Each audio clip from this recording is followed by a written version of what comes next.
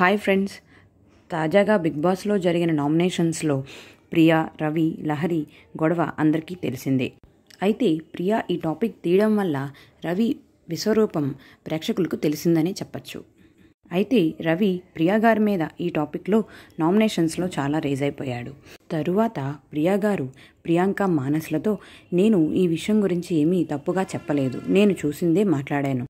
లహరికి యాంకరింగ్లో interest ఉంది. అందుకే ఇక్కడున్న సింగిల్ మెన్ను వదిలేసి నా వెంట పడుతోంది అంటూ ప్రియా గారితో డిస్కస్ చేశాడు.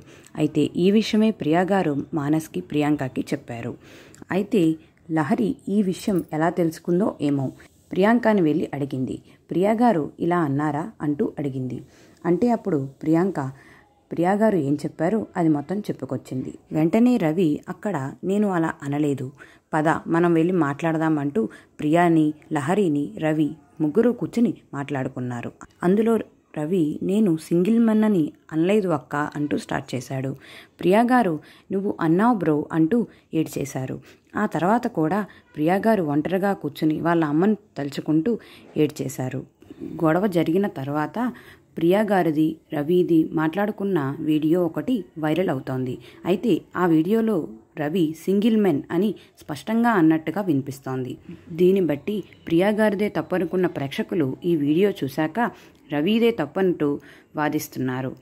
అలాగే ప్రియా గారు కూడా ఈ విషయం నామినేషన్స్లో తీసుకురాకుండా ఉండాల్సింది.